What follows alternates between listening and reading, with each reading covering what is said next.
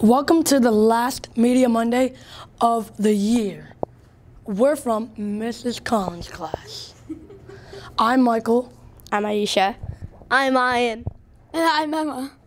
Enjoy, the, show. Please stand for the Pledge of Allegiance. I pledge of allegiance to the flag of the United States of America and to the republic for which it stands, one nation, under God, indivisible, with liberty and justice for all.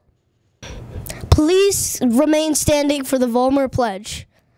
Our Volmer values are what we hold true, a kind, caring place for me and for you. Each day we arrive, we are ready to learn. Respect for each other, we always return. We're honest and trustworthy every day, leading with courage and pride to the true Volmer way.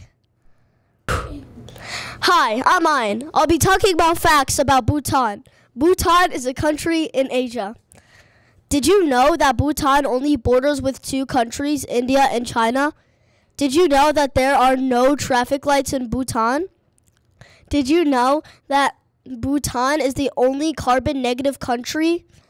Did you know that the national an- animal is what is called a takin, which is a goat antelope? That's all I have for Bhutan. Bye.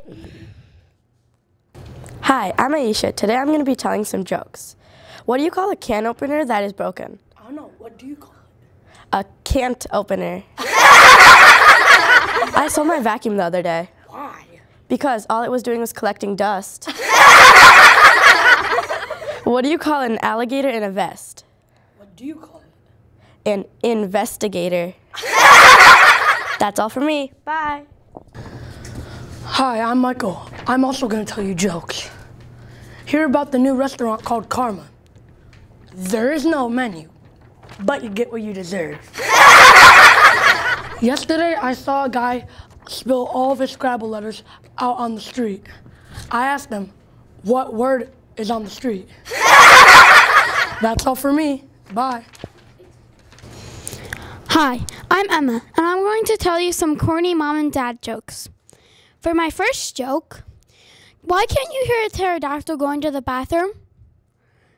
Because the P is silent. For my next joke, why was the fish's grade so bad? Because they were below sea level. also, what do you call a sad strawberry?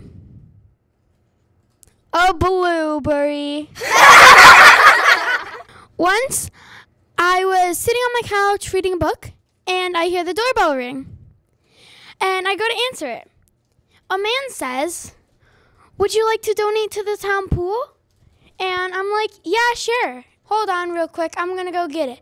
So then I go into my kitchen, I grab a plastic cup, I fill it up with some water, and I bring it back to him and say, Here's my donation. Well, that's all. Bye. Valmer, that was that is all for our last Media Monday of the year. Hope you enjoyed it. Bye.